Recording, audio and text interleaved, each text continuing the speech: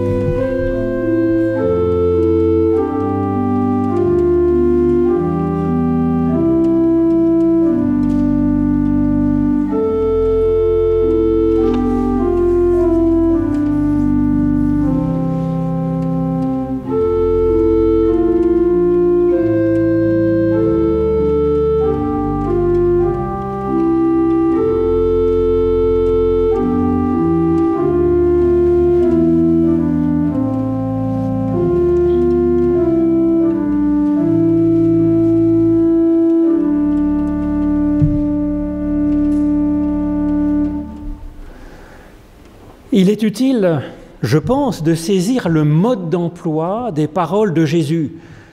Elles sont souvent, bien souvent, extrêmes, et il pousse le bouchon si loin qu'elles en sont souvent choquantes, que ces commandements en sont irréalistes. La plupart sont inapplicables. Nous l'avons encore entendu dans ce passage que nous avons ici. Par exemple, quand il dit de ne pas résister aux méchants, c'est évidemment impossible. Ce n'est pas un modèle de société. Ou quand il dit, si tu veux être parfait, va, vends tout ce que tu possèdes et donne-le aux pauvres. C'est bien sûr impossible, puisque il nous faut au moins garder une petite, une petite souffle d'air pour respirer, une petite gorgée d'eau et une petite miette de pain pour survivre aujourd'hui. Et donc cette façon de parler qu'emprunte Jésus présente un idéal infini, celui de Dieu lui-même. En effet, il nous dit, soyez parfaits comme votre Père céleste est parfait. Là aussi, ça fait quand même un sacré programme. Cette façon dont parle Jésus, de nous proposer des règles infinies, impossibles, idéales, c'est à la fois inspirant et à la fois extrêmement libérant, parce que ça nous donne une orientation, et en même temps, ce n'est pas culpabilisant, car qui nous en voudrait de ne pas pouvoir être parfait aujourd'hui? Oui, mais encore. Concrètement, comment vivre cet idéal, ce souffle que nous propose Jésus? Eh bien, il est amené à l'expliquer dans le passage que nous avons entendu, puisqu'il va envoyer ses disciples dans le monde. Il faut donc les former, les préparer à ce choc entre un idéal infini, dont il les abreuve euh, en permanence, et puis la réalité qu'ils vont rencontrer. Comment faire alors le passage entre cet infini du ciel et la réalité de ce monde? Ce n'est plus donc une loi qu'il va proposer, une loi au sens des 613 commandements, par exemple, à appliquer à la lettre près. Ce que Jésus propose ici, c'est une méthode, c'est une façon d'être, c'est une philosophie de vie, c'est une inspiration, c'est un appel à la sagacité personnelle, au bon sens pratique. Il nous dit, Moi je vous envoie comme des brebis au milieu des loups, soyez donc avisés comme des serpents et purs comme les colombes, gardez-vous des humains. Incroyable, non, ce gardez-vous des humains dans la bouche de Jésus, alors qu'il est si proche de chaque personne, alors même qu'il est en train d'envoyer ses disciples, tous, vers euh, des juifs, vers des païens, et qu'il prêche l'amour infini de Dieu. Cela montre que la Bible se lit en mettant les divers passages en écho, en contrepoint les uns des autres, afin de trouver un chemin de vie pour nous et pour ceux que nous voulons aider. Nous sommes dans un monde réel.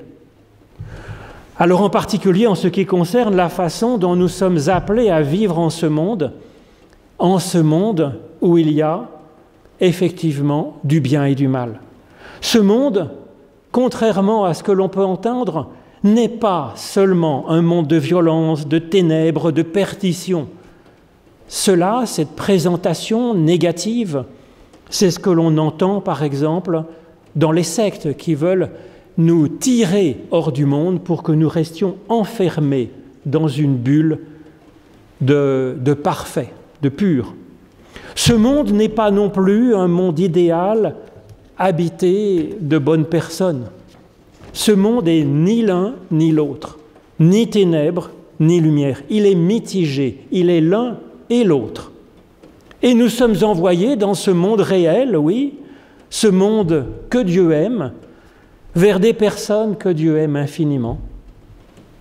Aimer ces personnes et aimer ce monde, comme Dieu nous y invite, ça ne veut pas dire y aller sans prendre garde à nous-mêmes, bien sûr. Manifestement, selon Jésus, aimer son prochain n'impose pas d'être naïf, bien entendu. Si ça chauffe trop à tel tel endroit, nous dit-il, eh ben, vous vous déplacez ailleurs, nous conseille Jésus. Et on le voit faire souvent cela dans l'Évangile. Sinon, on ne risque pas d'aimer grand monde bien longtemps, évidemment. Même si on n'en meurt pas, donc, comme le pauvre Jésus à la fin de son ministère, et comme bien d'autres d'ailleurs, donnent leur vie, des pompiers, des secouristes, je connais d'innombrables personnes qui m'ont dit s'être coupées du monde après s'être fait méchamment trahir. Donc peut-être faut-il précisément d'autant plus se garder des gens que l'on ouvre son cœur à son prochain ou à un groupe, à une église, à une association, à un milieu professionnel, à sa famille. Et en même temps, je pense que cela a dû être dur pour Jésus de dire cela. Gardez-vous des humains. Et je pense qu'effectivement, en lisant ça, ça nous tord le cœur, ça nous tord la tête, ça nous tord notre idéal, rêvant de confiance, de belles amitiés pures, cœur à cœur. Il me semble que l'évangile du Christ nous propose de garder néanmoins cet idéal infini de belles relations, de garder cela comme une visée tout en sachant que nous sommes dans un monde réel, que nous ne sommes pas encore dans le monde idéal messianique, comme Jésus le précise à la fin. Oui, le Fils de l'homme n'est pas encore totalement venu, et pourtant Jésus est là. C'est avec Dieu que nous pouvons avoir, oui, cette ouverture totale en confiance, car en lui, nous n'avons pas l'ombre d'une crainte d'être trahis, d'être abandonnés, d'être méprisés, blessés, dévorés. Pour le reste, c'est vrai qu'en ce qui concerne les réalités de ce monde, les relations entre nous, humains, le compte n'y est pas. N'y est pas tout à fait. Et donc voilà ce que nous propose Jésus dans cette situation. Moi, je vous envoie comme des brebis au milieu des loups. Soyez donc avisés comme des serpents et purs comme des colombes. Voilà le conseil, la méthode, l'heuristique que Jésus nous donne pour vivre notre imperfection personnelle dans ce monde imparfait, peuplé d'humains imparfaits, et d'arriver à vivre et d'arriver à aimer, d'arriver à servir dans ces conditions-là complexes. D'abord avec son moi je vous envoie dans le monde. Nous voyons que se garder des humains n'est pas sans détourner, puisque reste l'amour de ce monde, l'amour des humains tels qu'ils sont, à l'image de ce que fait Dieu ce Dieu qui nous inspire, qui aime ce monde et qui aime euh, ses enfants tels qu'ils sont, sans condition. Reste aussi une espérance de progrès possible. Jésus nous explique comment faire avec cette première paire d'animaux. Soyez comme des brebis au milieu des loups. Alors cela ouvre à bien des réflexions pour vivre cet entre-deux où nous sommes appelés à vivre. Qu'est-ce qu'une brebis pour un loup? Ben, C'est son repas. Par conséquent, ce comme des brebis au milieu des loups nous dit comment Jésus nous invite à servir ceux que nous avons à cœur d'aimer, d'aider, et bien que notre être, que notre parole, que notre action soit nourrissante pour l'autre.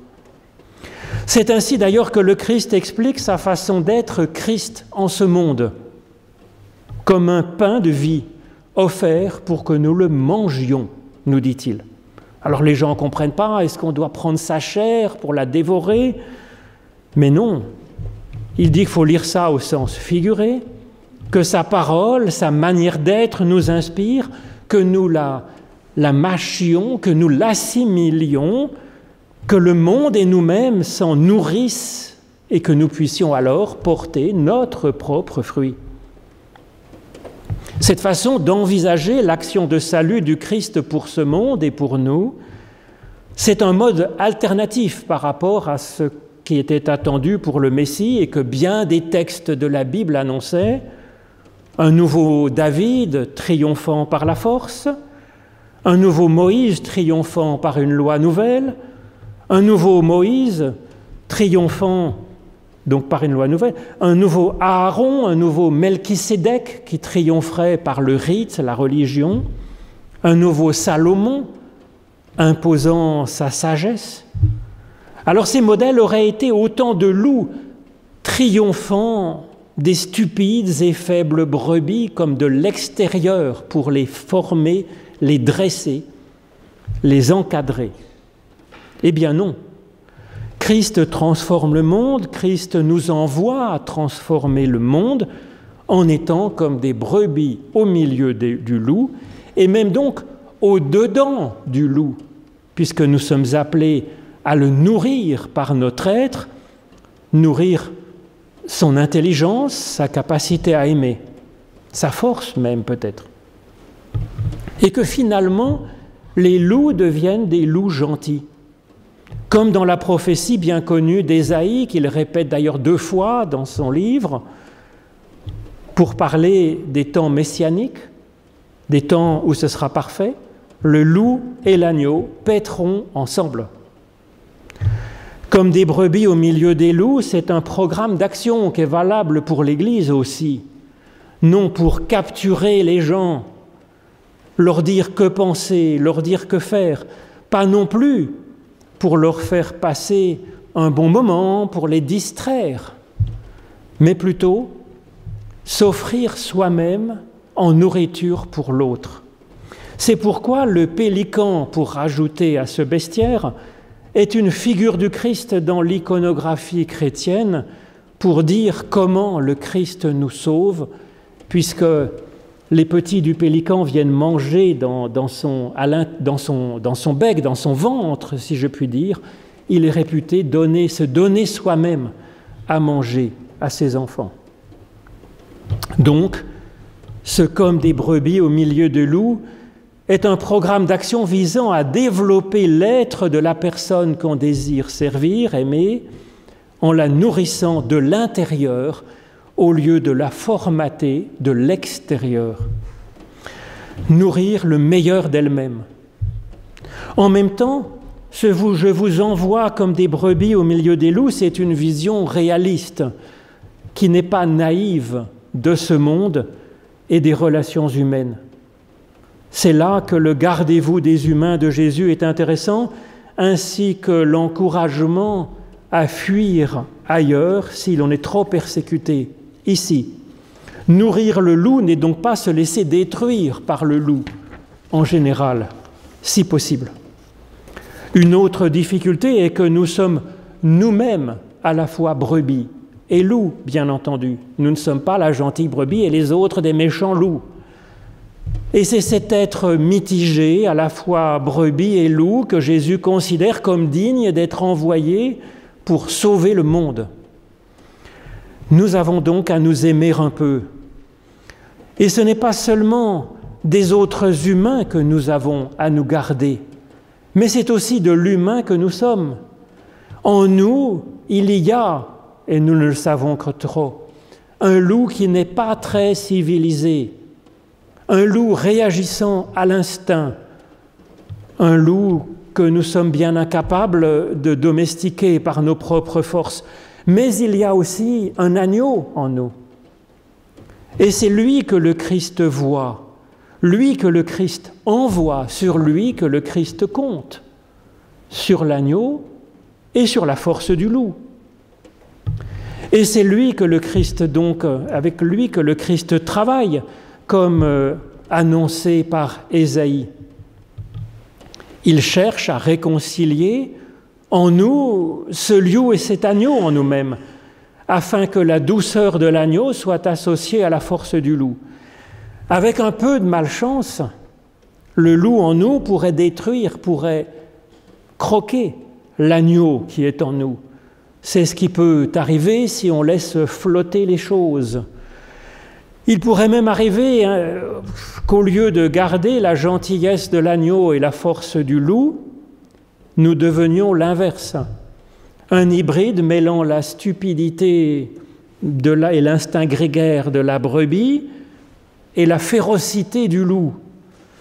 Heureusement, le pire n'est pas toujours certain, le meilleur est possible, il n'est pas simplement rêvé ce meilleur, il est en préparation par Dieu qui nourrit le meilleur de nous et prépare notre avenir. Alors comment travailler cette complexité de l'être humain et de ce monde? Jésus nous dit, soyez donc avisés comme des serpents et purs comme des colombes. Et donc à la fois au ras du sol, de la terre, au ras de ce monde, comme le serpent qui, nous dit la Genèse, marche sur son ventre, sur la poussière du sol et qui mange la poussière du sol. Et puis à la fois du ciel, porté par l'air, porté par le vent comme la colombe, évoquant dans la Bible, bien sûr, l'Esprit Saint, le souffle de Dieu, qui est Dieu en nous, qui est Dieu sensible à notre surface, à la surface de notre être et à la surface de ce monde, puisque c'est comme cela que Dieu y crée la vie. En tant qu'humain de cette terre, Jésus nous appelle ainsi à être avisés comme le serpent. Certaines traductions mettent rusé ou intelligent ou prudent. Comment savoir le sens de ce mot grec phronimos? C'est pas tout à fait facile parce qu'il n'est pas très fréquent, pas très utilisé dans la Bible. Alors en tout cas, il est toujours utilisé dans un sens positif, Par exemple, pour parler, c'est un des mots utilisés pour parler de la sagesse de Salomon, donnée par Dieu. Cela permet d'évacuer la traduction de rusé, qui est à mon avis sous influence de la mauvaise réputation qu'a le serpent en particulier dans la Genèse. Mais ce mot phronimos, il est en fait un mot positif, une qualité. Je pense que c'est plutôt un mot de la culture grecque, en particulier d'Aristote, qui met en lumière sur euh, bien des pages, en fait, cette vertu dans l'éthique à Nicomaque, pratiquement tout un chapitre porte là-dessus. Il distingue finalement cette, ce phronimos, cette, cette intelligence-là, de la prudence. Ce n'est pas de la prudence, parce qu'il dit que la prudence, elle consiste à penser à son propre intérêt, et puis Aristote la distingue de la sagesse. La sagesse qui est une connaissance théorique de ce qui est idéal, de ce qui est bon. Le phronimos, c'est une capacité à discerner très pratique, arriver à trouver à un moment donné, dans des circonstances données, la meilleure voie possible pour avancer vers le bien, dans une situation concrète. C'est donc une vertu qui est un mélange de, sagacité, de bon sens, d'intelligence pratique. C'est dans l'application. Le phronimos s'appuie sur une observation lucide de la situation. Il s'appuie aussi sur la mémoire et sur l'expérience, sur la capacité à prendre conseil des uns et des autres. Ça s'appuie aussi sur la souplesse d'esprit afin d'être capable d'accepter de nouvelles, nouvelles possibilités qu'on n'avait pas prévues d'avance. Et puis aussi sur l'élévation qui nous permet de regarder la situation d'une manière objective, un peu supérieure, détachée. Et puis ça repose sur le courage afin de ne pas avoir peur d'avancer, mais de se décider et d'agir. Jésus nous appelle donc à travailler cette sagesse pratique-là.